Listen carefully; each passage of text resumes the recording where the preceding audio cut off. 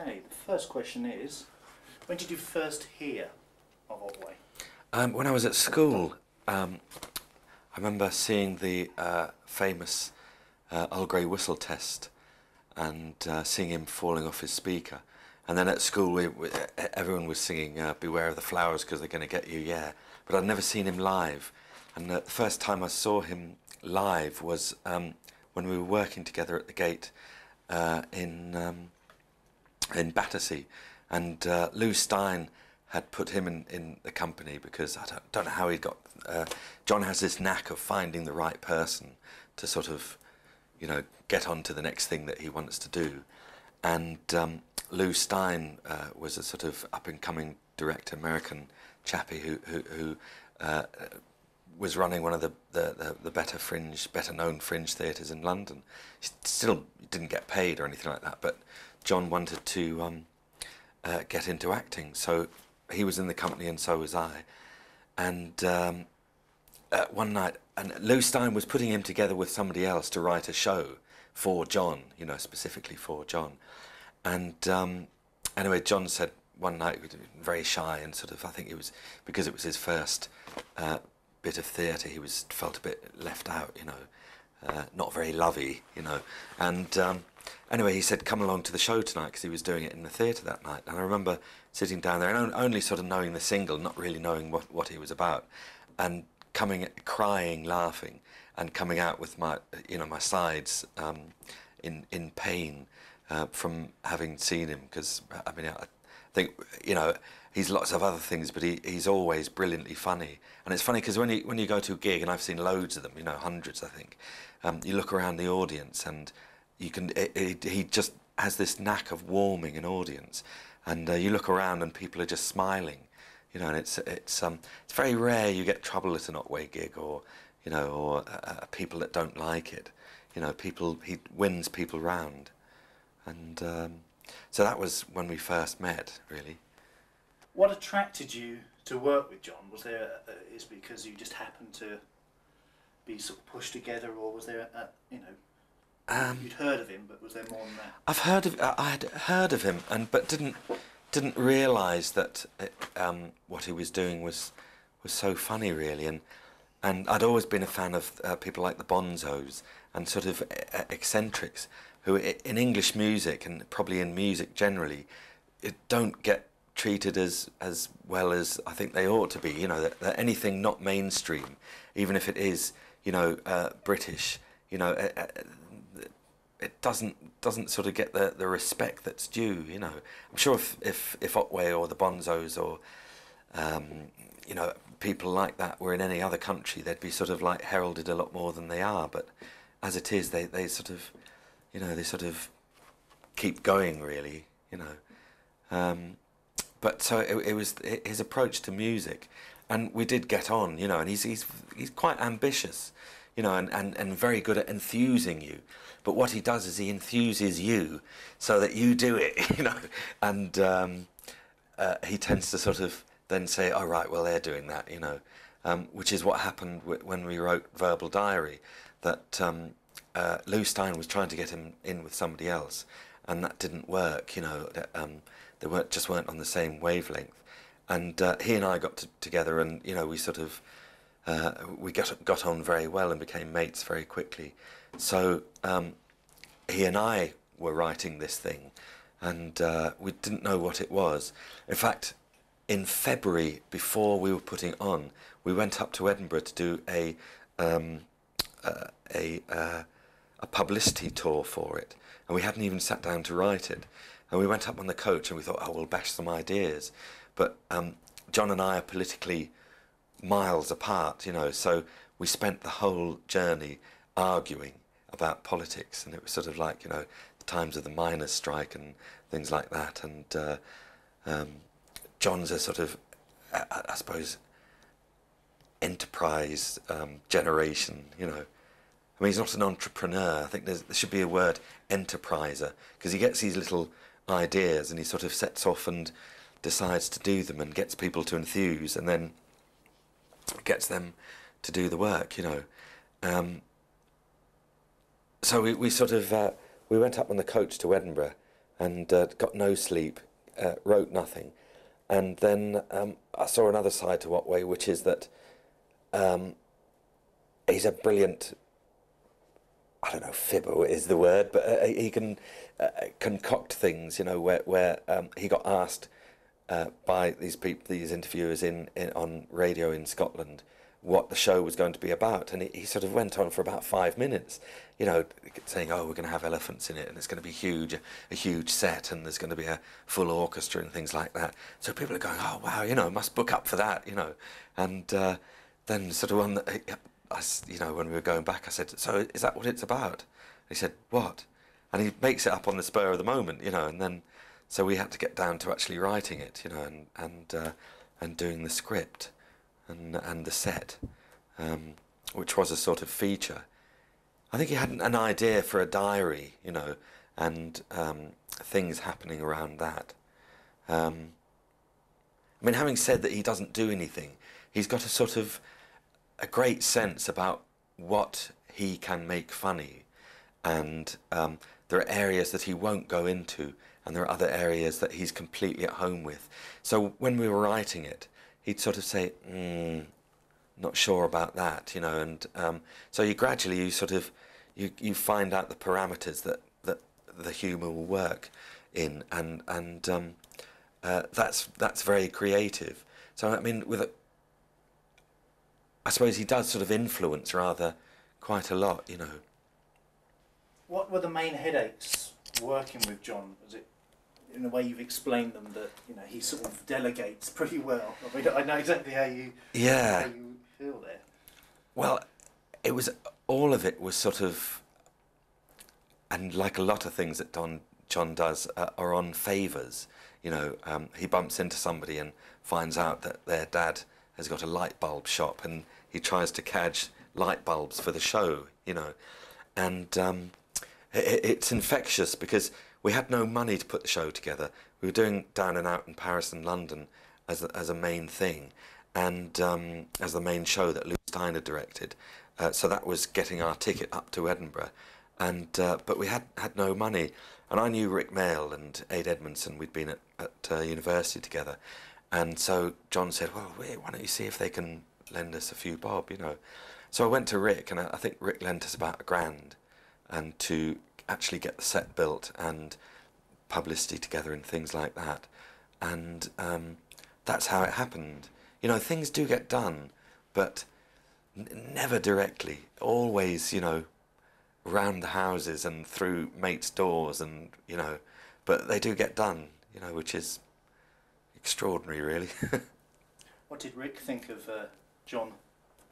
Oh, Rik was a real fan, you know, and has been for a long time and um, you know came came to a few gigs and things, and uh, um, so so th- that was good really. And I mean, one of the things that we managed to do, although we didn't make any money out of it, um, we did manage to pay Rik his money back. You know, which was uh, you know a good. Um, so Rik was happy. what were your main parts in um, Verbal Diary? What were you playing, or was it a, a series of? I don't know the play myself, so. I played two characters uh, Phil and Eric, and um, one lived in the same um, house as John's character, and uh, the other worked with John because I was playing both. They never met, and so there was we had a scene where I'd go off stage and have a conversation with myself. You know, it was all it was sort of quite uh, quite clever, really mucking about with theatrical conventions, and uh, the set was quite unique. It was all 2D. So if you were having a, a cup of tea, it would be a, a, 2D cup of tea and just a board like that with the tea um, uh, full, and then you you drink it and then turn it around the other way and it'd be empty. You know, so uh, there was things like that. There was a lot of invention going into it. You know, and um, uh, just one guitarist who um, played guitar. and what was John's main role in the um, John, as always, played John, really, or a, a version of John, um, who was a sort of uh, um, a chap who fancied a girl, and she lived in the uh, in the house, and they never got it together, and he wrote things in his diary about her, and uh, hence the title. And um, uh, you know, there were things that that um, characters would nick his diary and read it and make fun out of it. It was all very sort of uh, very light and gentle, you know, um, which I think is is John's forte. You know, that's his sense of humour really, and uh, which I found appealing as well. You know.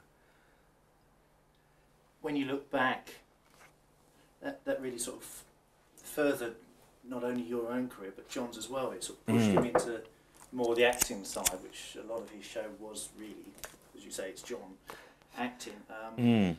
Now you went up for you, you, both. Did you both join a, a, casting agent then, or were you with a casting agent?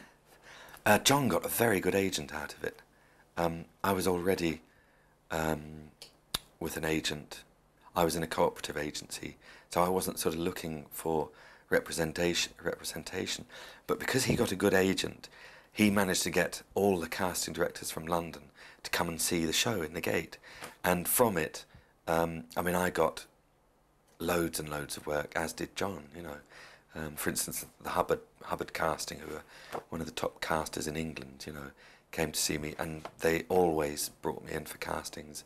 And John, you know, so it was great, you know, from from having and so he, he's very clued up, really. I mean, he he sort of he has this appearance of being sort of quite dopey, but I mean, don't be hoodwinked because he knows, I think, what he's doing, and he knows that if you put that in, even if you don't make any money out of it, that if you want to, uh, uh, you know, if you want to get on, you've got to do maybe something, take a loss in order to benefit in the future, and it did pay off completely for for both of us, you know.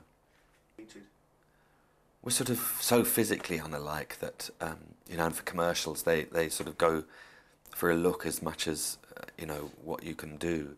Um, so we never really, although we went up, if there was a sort of general one where they wanted somebody funny, uh, we'd both go up and we had a little coffee club with people who always went to the same um, castings, and uh, so we all used to meet up. But I don't think, don't think he ever said, "Oh, you you got that one, I didn't," you know, or vice versa, you know, because he'd get some and I I wouldn't get them, and you know.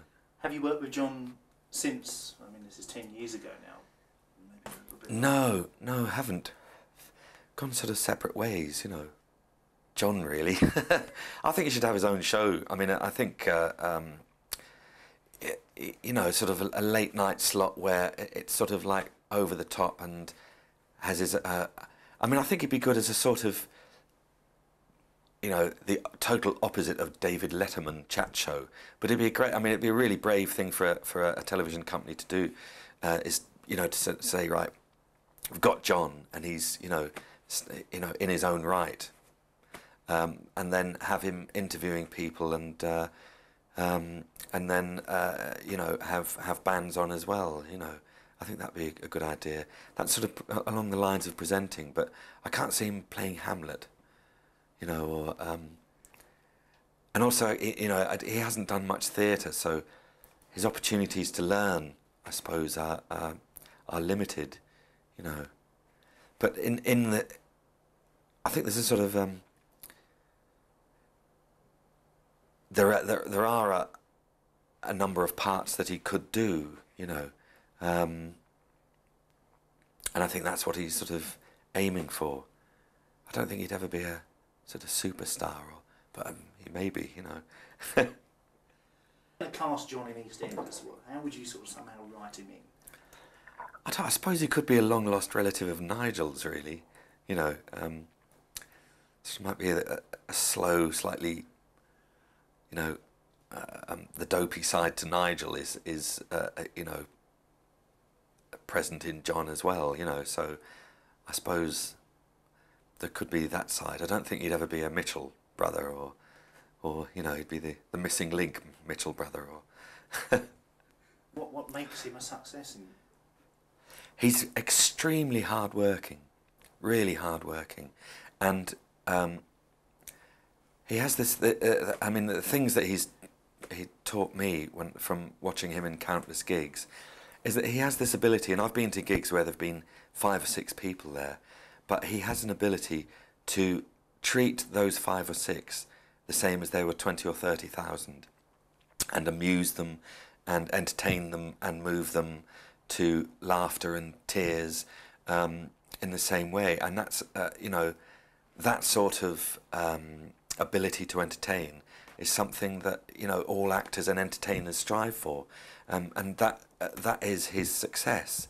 Um, and he is, he is totally unique, you know, and a very lovable um, uh, person and somebody that, that immediately warms people because he takes on uh, the, the, the, sort of role of being the, the downtrodden and the loser and um, sends himself up as well as being, you know, sort of um, a rocker. You know, it's a unique combination, but a combination that hasn't to date been totally commercially successful, you know even though he's done the same act for 20 years, he's always in his head a couple of jumps ahead of, of what's going on. You know, it wouldn't surprise me if there's an Otway CD-ROM on the way. You know, he's or an internet Otway, uh, you know, club. You know, he's he's there um, in in advance. He's very technic, technically advanced. You know, and he's he's got a mathematical brain. He can sort of see things coming and. Uh, um, and he he is always thinking ahead, never never sitting back, you know, and he has had to struggle quite hard to sort of keep um, himself going, you know, and uh, has been a success. Why do you feel people still go and they, they're going to know the same? He's going to do the same song. He's going to you know pull the guitar lead from so and so and. Because he has this ability, which um, uh, great actors have as well, to make it um, appear as if it is happening at that moment. And he sort of teeters on this edge of, of, of you thinking, oh, he's going to completely fall flat on his face. So there's that sort of tension of thinking he's going to blow it. And, and yet he's in command as well, in complete control, and knows the, the moment when. I mean, I can remember that the, the, the one that had me in tears the first time I saw him was um, he was singing a song and then just ripped his shirt open, and the shirt button flew across the theatre, and I thought it was just creased me up, you know. And I, and um, there are lots of points in, in the in the live act that um, you know work completely, and uh, you know that, that that I mean, as I said, I've seen it hundreds of times and I'm sure if I went again, it would be the same songs, and I'd enjoy it just as much. You know, I've never never seen a dull show. You know, he never sells anyone short, which is a, a, a form of integrity, really. You know, for what he does.